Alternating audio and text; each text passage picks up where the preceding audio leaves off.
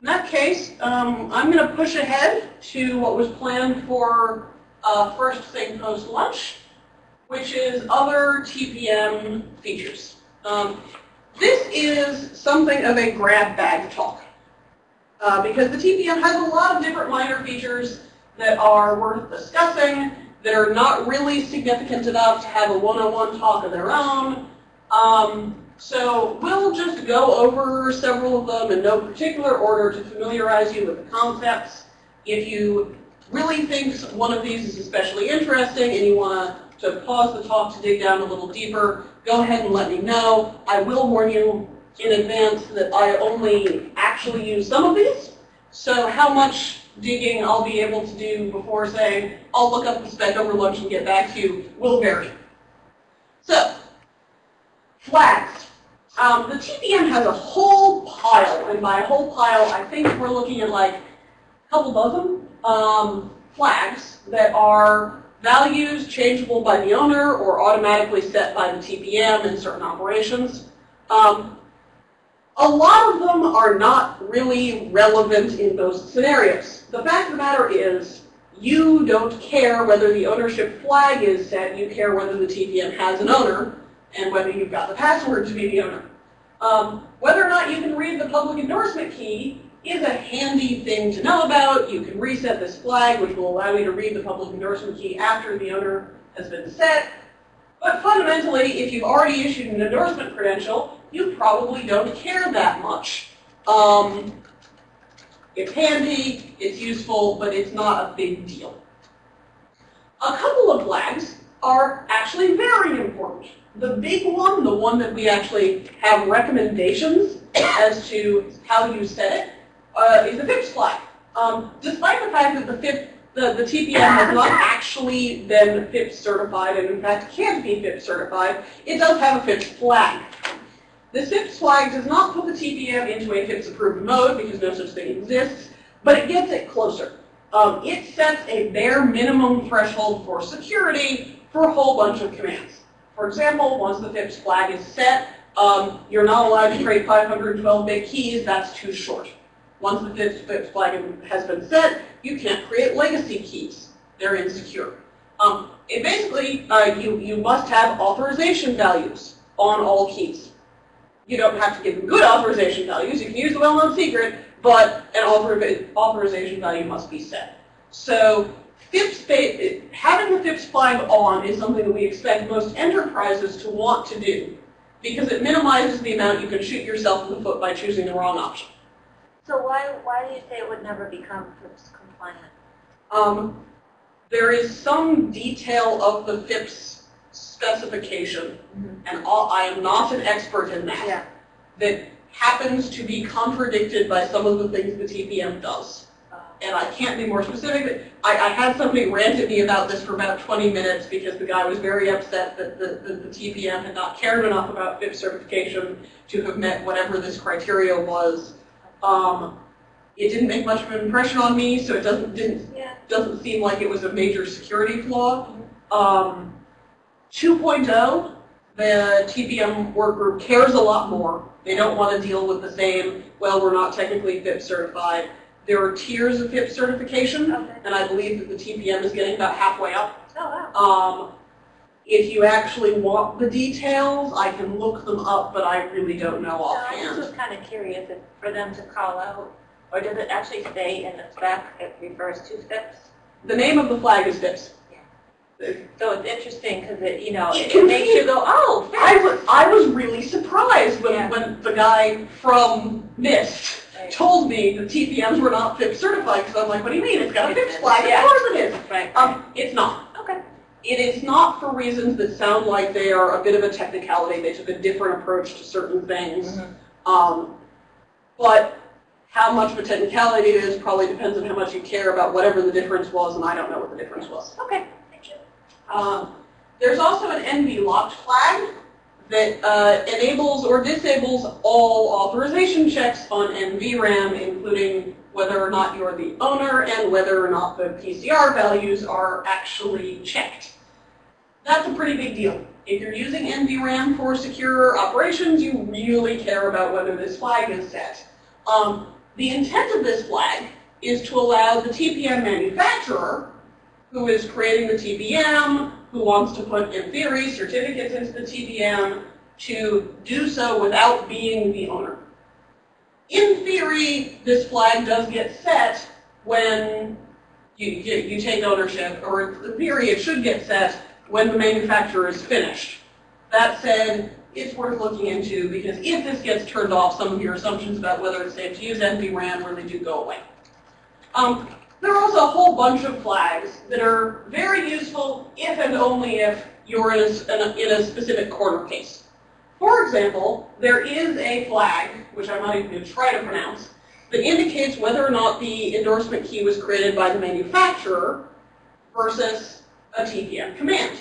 If news comes down, yeah, if in two years we discover that, say, Broadcom has turned out to have an insecure endorsement key generation practice, then I really care about going through every single one of my Broadcom TPMs and checking this flag so I know which ones to stop trusting.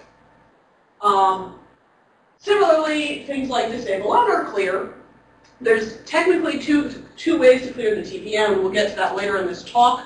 One of which is force clear, which is what you do in the BIOS. You have physical presence, you force the TPM to be cleared. The other one of which is just a command that the owner can run that wipes the TPM.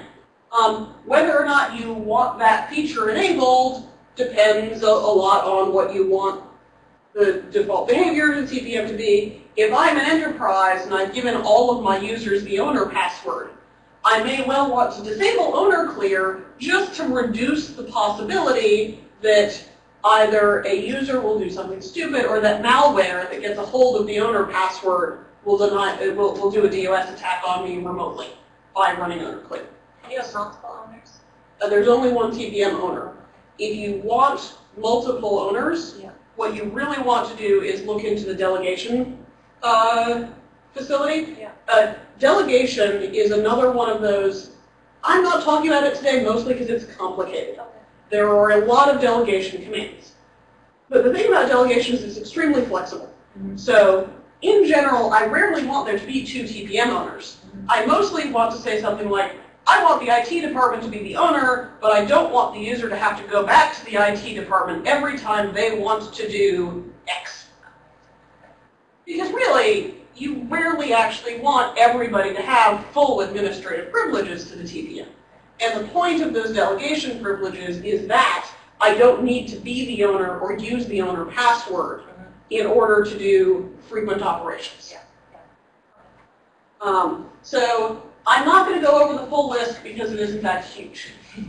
Uh, what uh, the disabled owner clear flag, um, I'd have to actually look up which one it, what its default value is. It's in the table. Um, this one is actually deliberately set by the owner. So if you want it to be something other than the default value, you have to go in and change it yourself. Yes, the owner is the one that turns on or off the disable owner clear flag. This is not the weirdest piece of permissions in the TPM. The weirdest ones that I, the, the weirdest one that I have found so far is if you want to read the values of the TPM flags, there's a command called get capability. Um, you need to be the owner to run get capability. One of the flags that you can only read via get capability is the flag that determines whether or not the TPM has an owner. So unless you're a TPM owner, you can't read the flag to determine whether an owner exists. Oh my god. I found that one particularly funny. Um, but in general, um, it, it's, it's not just capability. There's a second one because there's technically two kinds of TPM flag. This is part of why I didn't go into the details because it's a bit grungy. Um, yeah.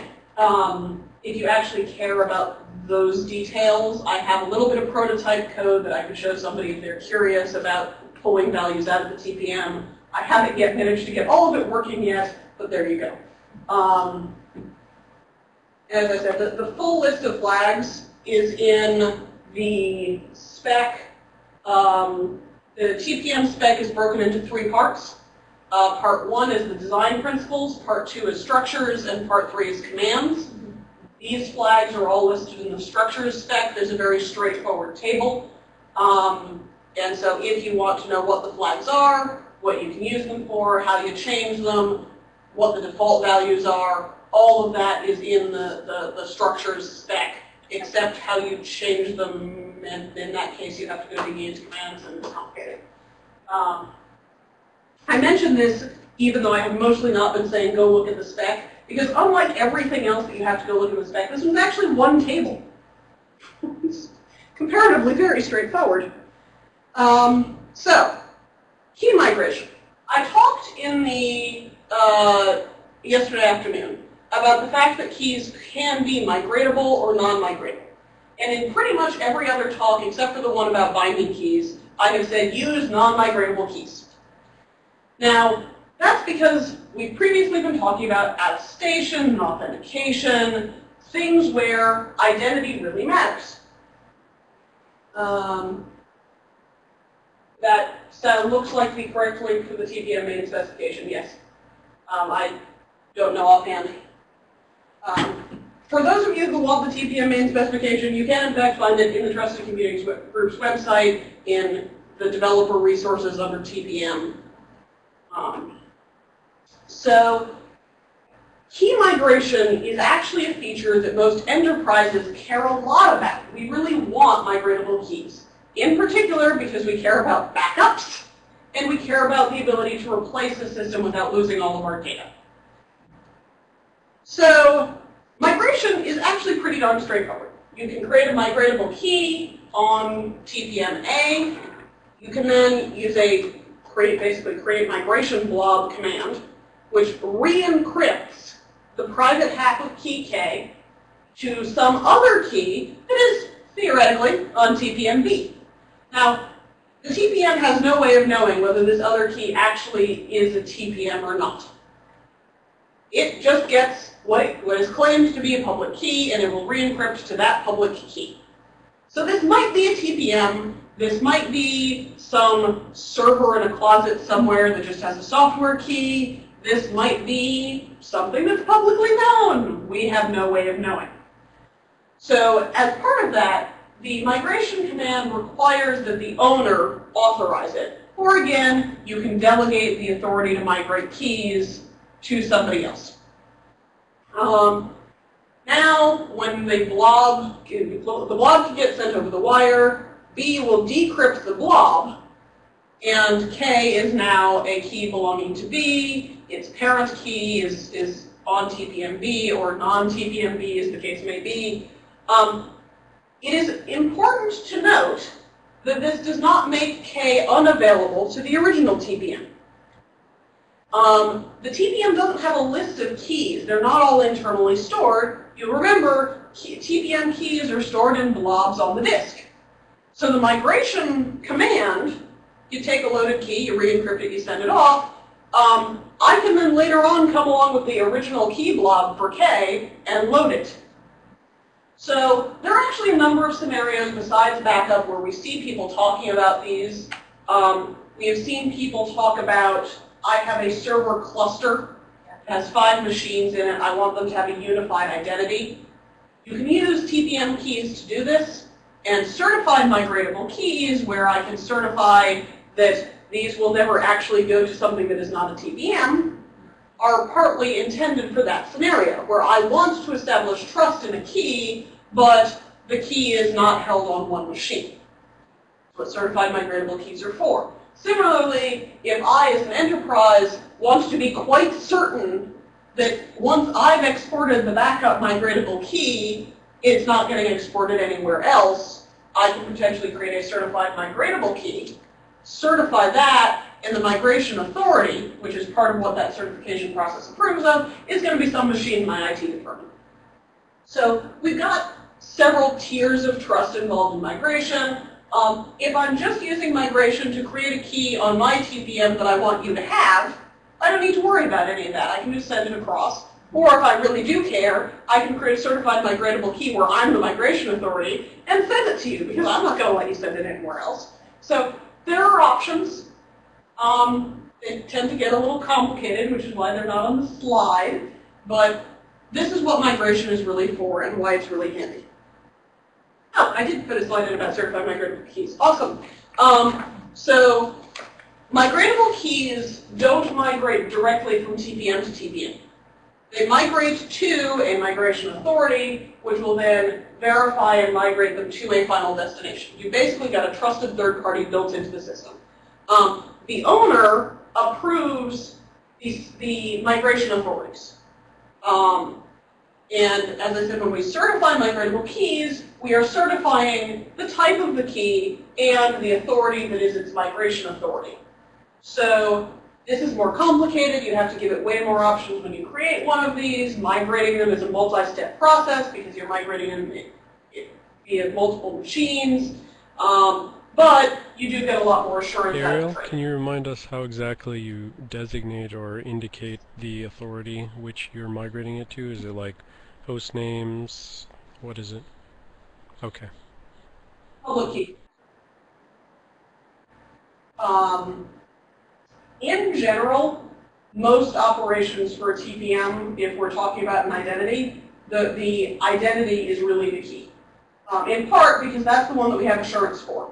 The TPM knows it's migrating to that migration authority because it is encrypting the key to that public key.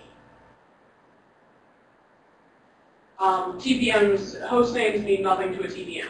So if you want to identify the migration authority, it's because you have a certificate that says this public key belongs to migration authority X with host name Y.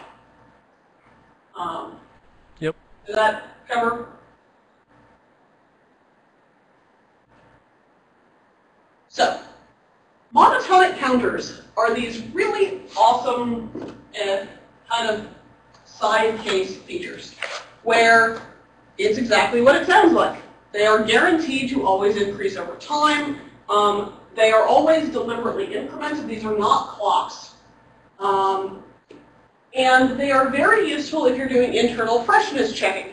Um, you cannot sign a counter value for remote parties, but you can use it locally to make sure that you're not loading old saved data by including a value in your in your um, in your data, and whenever you unload the data, you increment the counter. Now you can't be tricked into loading your old data again. Um, there's no burnout from the monotonic counters. You can, in fact, um, create multiple monotonic counters, even though there's only really one internally in the TPM. Um, I'll be perfectly honest, I have not really looked into the details of how it works, but it seems kind of reasonable. Um, the idea here is that if I have three different applications all using a monotonic counter, I don't have to worry about the fact that your application updated your monotonic counter because I have my own. And there's a limited number that the TPM has. This is one of those things you can read out of the TPM flags. Um, that one's not really a flag, it's just a piece of data, but you can, you can read it anyway. Um, so that I can say, I want a new monotonic counter, as long as the, the set of monotonic counters available have not been uh, changed, or, or not fully, fully allocated. I can allocate my own, I can update it at my heart's content, and then later on, when I no longer want it again, I can deallocate it. All monotonic counters that are not the basic counter are wiped when when machine, uh, when like owner, when it's cleared. Um, I believe that the way the, the different counters work is that they're basically doing delta from the TPM's internal counter. I don't actually remember when you update the internal counter versus those counters, but every single one of them has this property that they only go forward. Uh, monotonic counters have handles much like keys do. Um, so tick counters. Tick counters are the TPM's answer to clocks. TPM doesn't have a clock. It has no concept of external absolute time. What it does have is a count from the start of the last tick session. Um, it is supposed to be the last startup of the machine. This is not actually guaranteed, as with many things in the TPM. The spec contains a should rather than a must. Um, I believe that has to do with how much power you may may.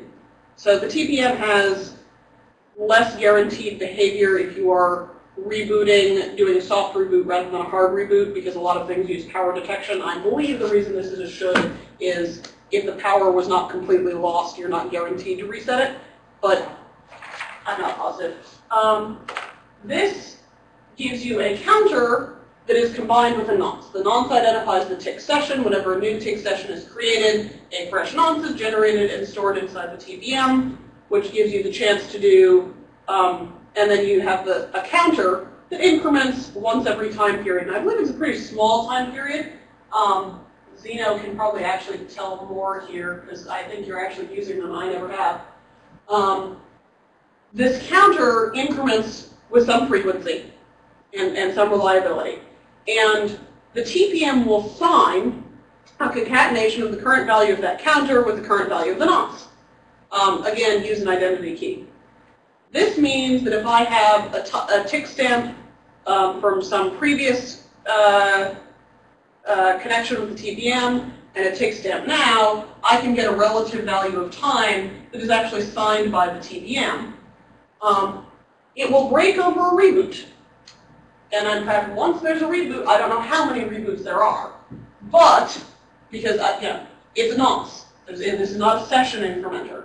But as long as the machine has not rebooted, I can actually tell approximate time. And it's actually way more accurate than we expected. Um, different frequencies on different TPMs. Yeah, the, the spec actually includes a pro recommended protocol for calibrating the tick counter of a given TPM with a clock. It's, it's an it's informative session. It's a little bit complicated, but you can do it. This really is usable as long as what you care about is short-term time, not long-term time. Um, so um, I have been informed that this is actually accurate enough that we can use it for what's called timing-based attestation, where I want to identify, uh, to, to make sure an operation has happened only on this machine by doing a challenge and timing how long that challenge takes and um, taking into account the, the network delay.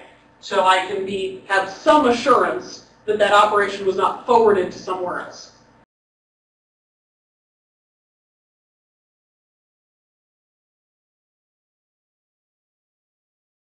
And this is actually a really handy trick if we're trying to do things like um, make sure that this smart card is authenticating at the same eh, via this hardware machine because I can do a tick stamp, do an attestation with a smart card, do a tick stamp, and, and associate all of that.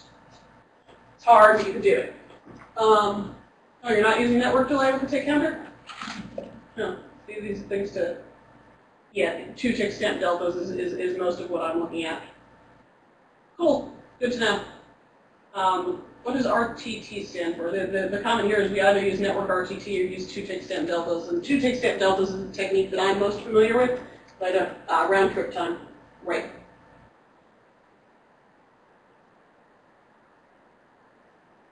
I've never actually done timing-based attestation myself, so I'm, I'm really talking theoretical, uh, theoretically here, and Zeno is pointing out that I don't know everything that I'm talking about here, and I appreciate that. Um, um, yeah, two separate, separate ways of doing timing-based attestation. One is the delta between two tick counters locally, and one is uh, based on network time assumptions. So, um, gosh, we are just zipping through things today. Um, so the TPM can also act as a random number generator.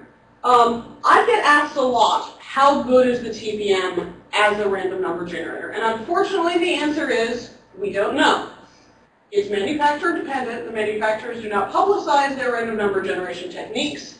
Um, they spec recommends that they use hardware-based entropy, not just a pseudo-random number generator, but they're not required to, so we don't have any idea.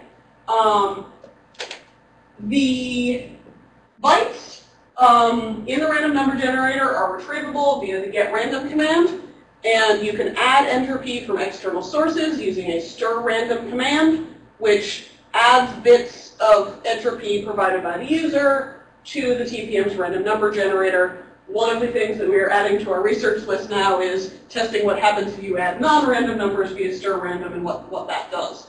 Um, Stir random does not replace the TPM's seed with whatever you provided. It does combine them, but that doesn't necessarily mean you can reduce the entropy value if you do so maliciously. Um, And the last topic is clearing the TPM. So when I want to dispose of a machine, I've got a TPM, it's got a whole lot of secrets in it that I want to get rid of. What I want to do is clear it. And there's two different approaches to clearing the TPM. One of which is through the BIOS, where um, there's, you have to enable a command called force clear, or the TPM owner clear command, which similarly must be separately enabled. So there's basically two flags saying which kind of clear are enabled. Neither of them has to actually be enabled. Um, not all BIOSes support force clear. If you go into the BIOS when you are turning on the TPM, you will often, but not always, see an option that says clear or erase or reset. Um, if your BIOS doesn't have that option, it doesn't matter whether you've got force clear turned on, you're going to have a little trouble using it. In theory, the only requirement for force clear is that you have physical presence, but there's a bit of a difference between, in theory, I have physical presence and actually implementing it. Um, there is a physical presence flag that, the, that gets turned on if you have booted the machine with physical presence enabled, which is what is checked when force clear is called. Um, but actually implementing that in software is a little bit of a pain. Um, what clear does is it erases all non-permanent data.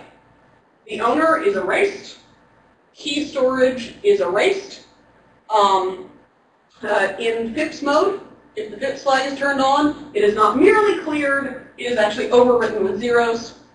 Um, the flags are reset to the default value. Um, any NVRAM that belonged to any that, that, was not allocated by the manufacturer is deallocated. Um, and in general, if there's something that seems to be um, non-permanent, it's gone. There are a few things that say the endorsement key is not cleared on a clear. Even if you have a revocable endorsement key, it is not cleared on a clear. You have to actually explicitly revoke it. And the monotonic counter, because after all, the whole point of the monotonic counter is it's guaranteed to never go backwards. The monotonic counter will never go backwards, even on a clear. It's not like it goes back to zero. It stays at whatever it was. So those are the only things that remain. Um, when it comes to things like what a cleared TPM does, if it's activated but cleared, um, even if the TPM is has no owner, when you reboot the machine, if the TPM is active, the PCRs will get filled in on boot. It's just part of the, the, the operation. Um, so that does not really count as part of non-permanent data because it is so non-permanent that it's per boot anyway.